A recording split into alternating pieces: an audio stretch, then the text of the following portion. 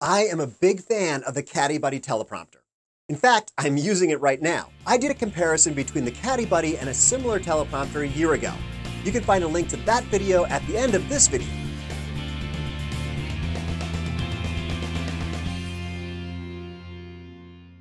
In that video, I found two faults with the Caddie Buddy, and I recently learned that they've eliminated those problems on their current version.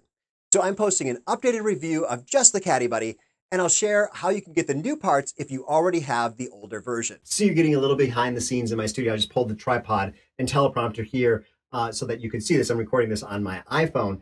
And what I'm going to do is just go through. This is the Caddie Buddy. Uh, you can kind of see it here. It's got this, comes with this black fabric that drapes over it. And I'm not really going to cover how teleprompters work. I'm just going to really cover the features, assuming that you are familiar with these teleprompters. I'm just going to take this piece by piece and we'll start with the, the black fabric that comes with it. And what I like about this, there's two things I like. One of them is an improvement. One of them is the Velcro that attaches to the frame here. Uh, Mike has replaced this Velcro with a stronger adhesive so that it's not peeling off. And so if you've had a, uh, a teleprompter before, you'll notice that's a pretty common problem is that the Velcro is peeling off. Uh, and I actually, this is another thing, I just changed this. I, I, kind of ironed mine to have a little bit of a bend to it. So you could do that too, uh, but it comes straight. So let me just put this back on. And you'll see here, one of the things that I like is that he sewed in this kind of foam rubber uh, neoprene stuff. And that is able to rest on the lens and keep the the fabric from falling in front of the lens. So it's pretty nice. Let me just pull it off again. And I'm just going to go through this. So let's start at the front with the tray. The tray is adjustable. There's a little, this is, the Caddie Buddy is super adjustable. That's one of the things I really love about it. But the tray is adjustable. And so you're able to move your iPad back and forth depending on the height of your camera to get it centered. Uh, there is in here a smaller tray to hold your iPhone if you're using an iPhone instead of an iPad or Android device.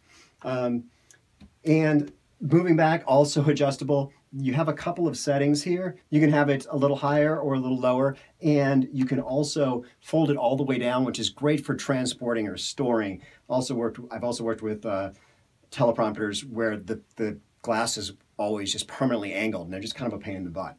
So let's pop that back up, tighten it down.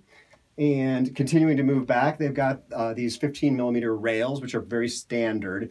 And this is another improvement that they've recently made, is how the teleprompter connects to the tripod. So the old system was a metal plate, and just because the plate wasn't very big, there was some play in between the teleprompter and the tripod. And here, there, I mean, there's this tiny bit of, of play, but that's solely because there is rubber on this tripod. Otherwise, it's firmly connected to the tripod uh, without that play that was there before. So good job on this.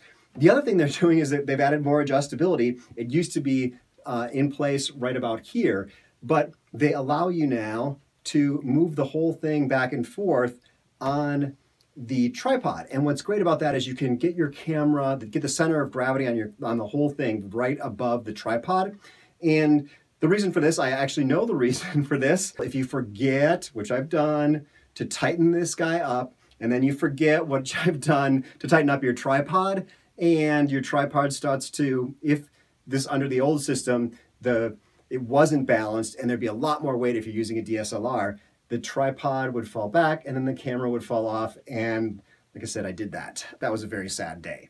But uh, it was not the Caddie Buddy's fault. It was my fault, but they've fixed it so that that's much less likely. So for klutzes like me, it's much less likely to happen. Um, like I said, this is adjustable. You can move the camera back and forth. Uh, if you're using an iPhone, you want it closer uh, or a small camera, but you've got a lot of flexibility there. You have flexibility with it moving up and down too, which is great. And um, they've got you know a, a, nice big screw here to, to mount the, the quarter 20 screw. And of course that's kind of the standard adjustment but it's really easy to use. It's not some you know funky uh, funky screw or or whatnot. It's a nice big screw. Um, so that's it. Caddie Buddy extremely adjustable? A couple of nice new features on it and if you've got the older version without these nice new features, you can connect with Mike at Caddie Buddy, and he can get that out to you. So that information will be down down below. I really like this teleprompter. It saves me so much time. Uh, very excited that it's getting even better, and I, I hope if you're considering getting one, you go and do it. I love that Caddie Buddy is a small business. You can order this through Amazon, which is super easy for me, and I've got an affiliate link below. And you can also call or email Mike directly, especially if you want those new parts. I've got his contact information down below. He's a super nice guy. So click the link below to get your teleprompter today. Creating videos is so much easier and faster for me when I'm using a teleprompter, and it's quicker to edit the videos too. If you're thinking about it, I suggest you go for it.